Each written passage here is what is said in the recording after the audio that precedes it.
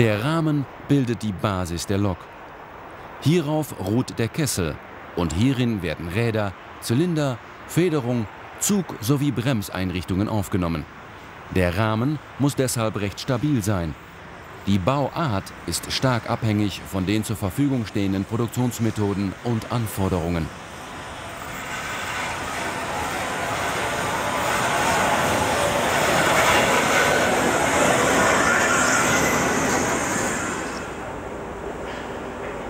Eine übliche Konstruktion ist der sogenannte Blechrahmen.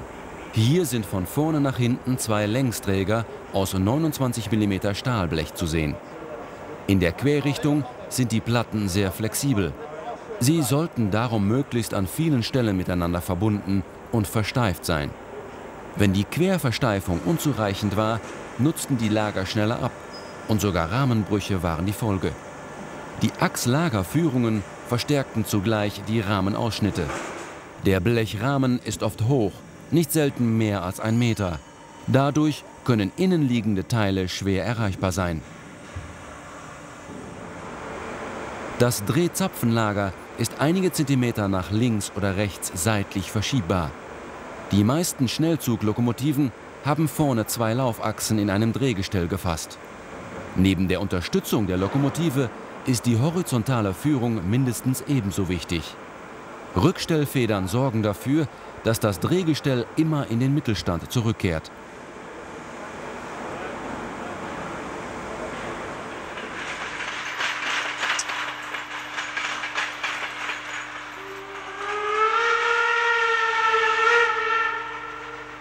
In dieser weichen Straße ist gut zu erkennen, wie das Drehgestell die Stöße abfängt und die Lok sozusagen durch die Kurven lenkt.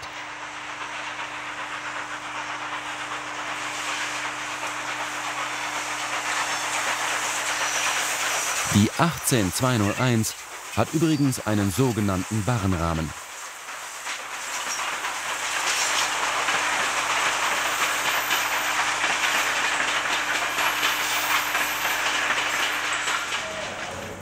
Eine Seite der Achslagerführungen steht schräg in einem Winkel, um Stellkeile aufzunehmen. Die Stellkeile gleichen jedes Spiel in der Längsrichtung aus. Der Barrenrahmen enthält viele Aussparungen zur Gewichtseinsparung. Am Untergurt der Rahmen sind Hebel zu sehen. Diese sogenannten Ausgleichshebel verbinden die Federpakete mehrerer Achsen und verteilen die Schienenstöße sofort über das Fahrwerk. Sobald eine Achse hochgetrieben wird, werden die Nachbarachsen extra nach unten getrieben. Durch seinen niedrigen Aufbau verbessert der Barrenrahmen die Zugänglichkeit. Er muss aber in vertikalem Sinn durch Pendelbleche verstärkt sein und darf normalerweise auch nicht ohne Kessel angehoben werden. Der Rahmen würde unter seinem Eigengewicht durchbiegen.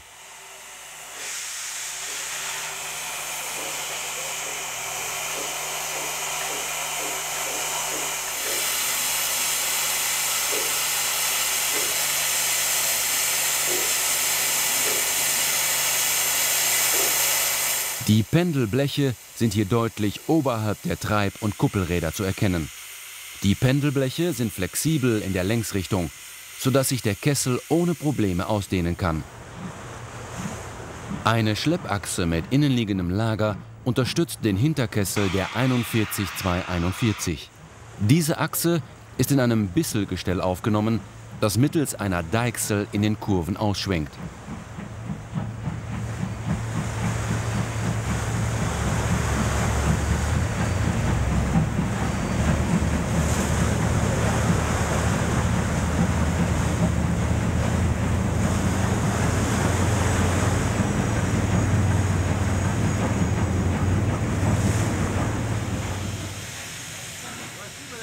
Belgische 1002 hat eine Schleppachse mit außenliegenden Lagern in einem sogenannten Delta-Rahmen.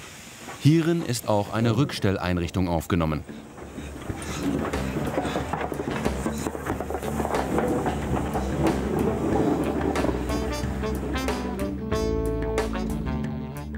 Seit den 30er Jahren wurden in Amerika Stahlgussrahmen aus einem Stück gegossen, komplett mit Zylindern, Querverbindungen und Pumpenträger.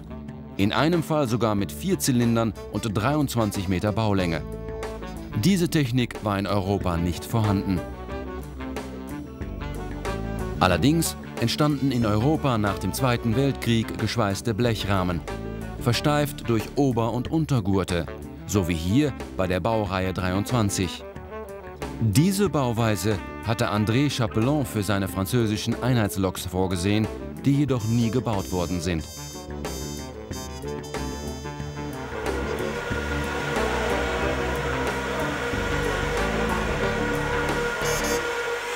Die 23023 wird von einem sogenannten Kraus-Helmholtz-Lenkgestell geführt. Darin ist die Laufachse über einer Deichsel mit dem ersten Kuppelradsatz verbunden. Diese Kuppelachse ist um einige Zentimeter seitlich verschiebbar und die Laufachse schwenkt aus. Rückstellfedern zwingen die Deichsel wieder in die Mittelstellung. Diese Kombination funktioniert wie ein Drehgestell.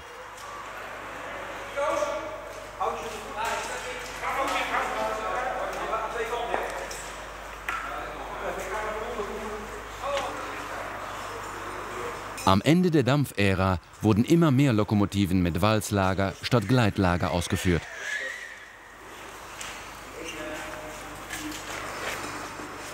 Obwohl die 23023 eine Personenzuglokomotive ist, hat sie vorne nur eine Laufachse.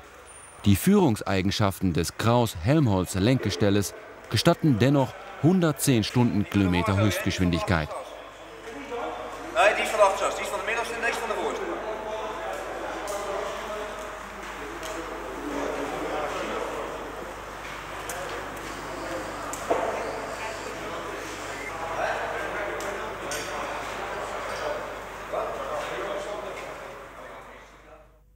Das Kraus-Helmholtz-Gestell ist auch unter der Baureihe 52 anzutreffen.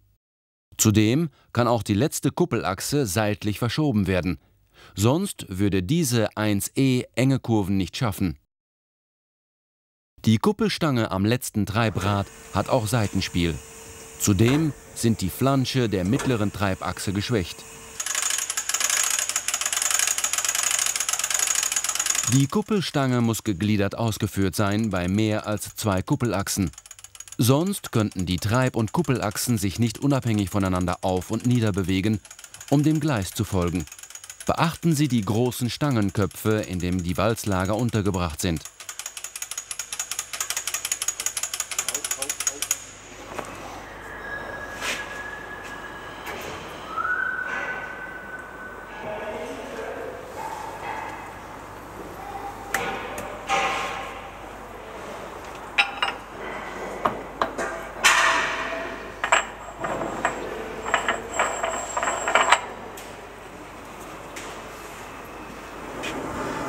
Einen guten Bogenlauf mit fünf Treibachsen erzielen war schon recht aufwendig und noch schwieriger mit sechs Treibachsen. Dies war der Grund, den Lokrahmen aufzuteilen und gelenkig auszuführen. Die Mallette gehört zu den Gelenkbauarten und ist vom Ursprung her eine Vierzylinder-Verbundmaschine.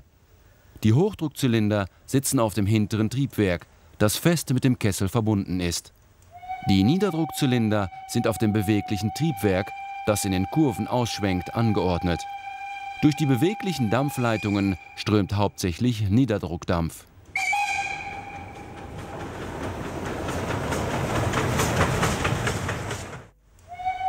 Die Mallets sind als Schlepptenderlokomotive und als Tenderloks gebaut worden, so wie bei den Loks der Harz-Querbahn.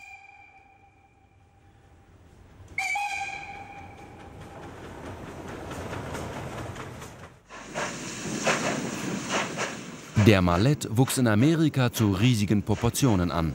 Einige Loks der Virginian besaßen Niederdruckzylinder von 1,22 Meter Durchmesser.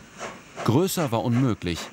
Dann nämlich begann das vordere Triebwerk bei 25 Stundenkilometer bereits gefährlich zu schwingen.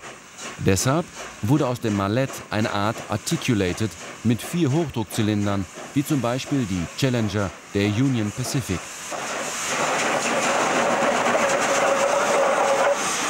Das vordere Triebwerk schwenkt jetzt so kontrolliert aus, dass diese Güterzuglok ohne Probleme mehr als 110 Stundenkilometer Geschwindigkeit einhalten kann.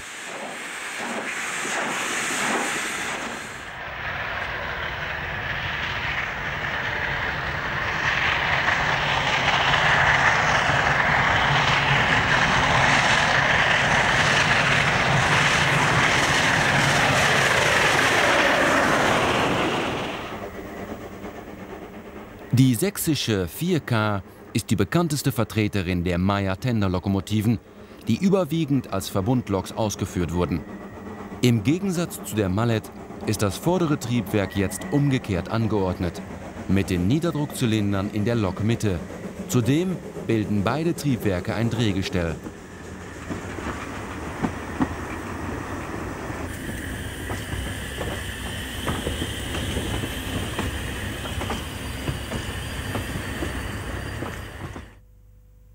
Garrett-Lokomotiven haben zwei Gelenke.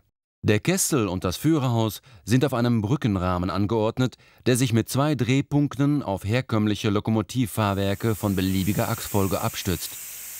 Das vordere Triebwerk trägt einen Wassertender, das hintere Triebwerk einen Tender mit Wasser und in diesem Fall Öl.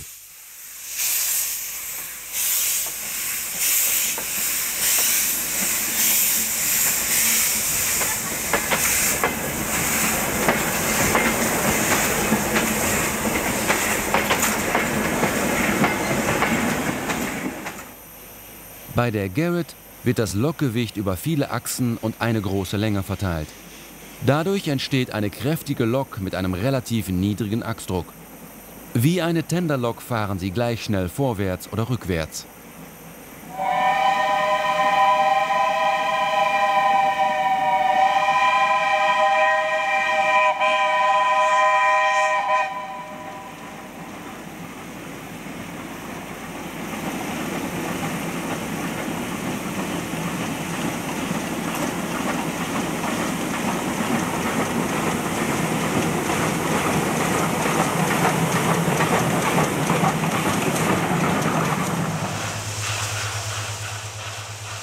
Kenianische Reihe 59 fährt auf Meterspur, so wie die Harzquerbahn oder Rätische Bahn zum Beispiel.